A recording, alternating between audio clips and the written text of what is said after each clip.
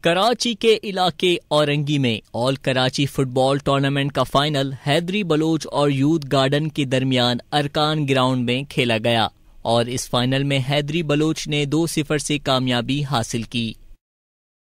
Final match کو دیکھنے کے لیے تماشائیوں کی بڑی تعداد بھی موجود تھی۔ اس فائنل کو دیکھنے کے لیے پاکستان انڈر ففٹین کے فٹ بالرز اور secretary Sindh football association Rahim Bakhsh Baloch اور ایم پی علی خورشیدی اور دیگر مہمان نے شرکت کی۔ پاکستان انڈر ففٹین کے فٹ بالرز کہتے ہیں کہ ہمیں بھی پروموٹ کیا جائے۔ ہم بھی پاکستان کے لیے کھیلتے ہیں۔ طور پر لیاری میں فٹ بال کی تعداد بہت ہے۔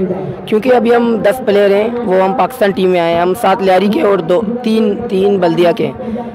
تو مطلب ابھی میں مطلب ابھی میں لوگوں کے لوگوں کے لوگوں کو کہنا چاہتا ہوں کہ بہت محنت کریں، کیونکہ اب فٹ بال بہت ہی آگے آگے جائے کیونکہ ابھی ہمارے، کیونکہ ابھی ہمارے پاکستان میں برازیلین کوچ آئے ہیں، تو وہ بہت ہی مطلب اچھے اچھے طریقے سے کام کرے، خاص طور پر پلیئروں کے اوپر۔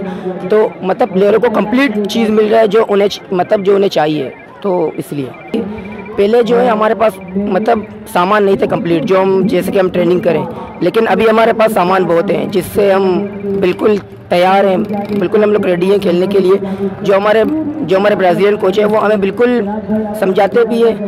اور مطلب کھیلنے کے حوالے سے تو مطلب وہ بہت بڑے کوچ ہیں۔ تو اگر ہمیں اس طرح کے کوچ آگے بھی ملے تو انشاءاللہ ہم انڈیا کے ہم برازیل کے سامنے بھی کھیل سکیں۔ سیکرٹری سندھ فٹ بال ایسوسی ایشن نے کہا کہ سمجھتا ہوں کراچی کے فٹ بالر اس مقام تک پاکستان ٹیم کو لائیں گے، جس وقت ابھی جو انڈر ففٹین میں کراچی کے دس بچوں نے نمائندگی کی، جس میں انڈیا کو جیتایا جیتا، بھوٹان کو جیتا، نیپال کو جیتا، پاکستان میں جو ہے بنگلہ دیش سے پینلٹیوں پہ ہار گئے۔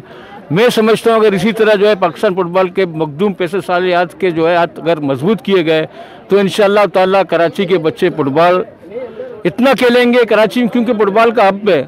اگر کراچی کے فٹ بالروں کو نظر انداز کیا گیا تو میں سمجھتا ہوں پاکستان کا فٹ بال بھی بیٹھ جائے گا۔